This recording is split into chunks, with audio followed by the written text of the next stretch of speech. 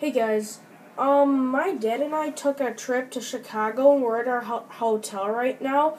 But some really bad stuff has been happening. It seems like it's dangerous. And I was trying to shoot some videos and I got some really weird stuff caught on footage. Let me show you some of that. Look at that. It just started to flood. That could carry you away and bash you into the wall. You could hurt your head. Seriously.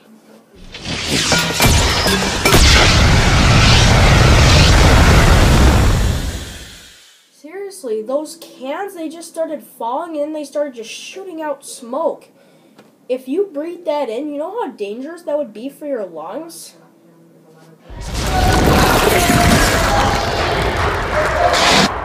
Look at that! You could have been stepping there when that when that ground broke. You could have been stepping right there and you would have gone carried through. And we're at a very high floor right now. So like I'll give you a view.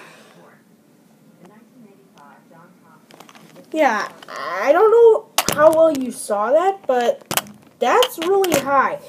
And if you're on a high floor, you know what happens if the ground breaks? You're gonna go all the way down. You know how dangerous that is?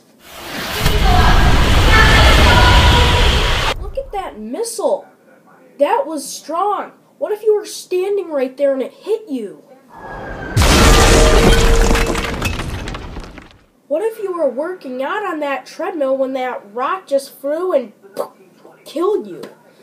Somebody could have been working out on that treadmill when that rock flew. And notice, this stuff can't just come from a roof.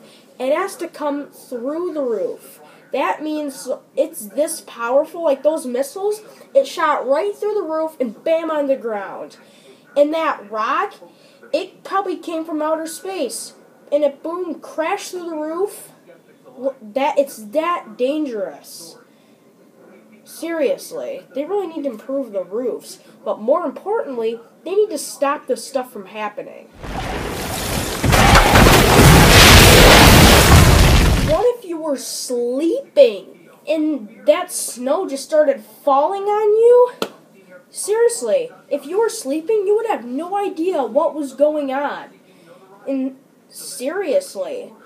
After all, snow can't come from the roof. It has to come through the roof. And I didn't get this scene on film, but a missile did shoot through the roof, so that's why the snow came in because of that same hole. So yeah, if you come to the um uh what's it called? Dad, do you know what our hotel is called? Spring Hill Suites. Yeah, if you go to Spring Hill Suites, be really careful if you want to go to Spring Hill Suites, think again because this is so dangerous. Really. So yeah, bye.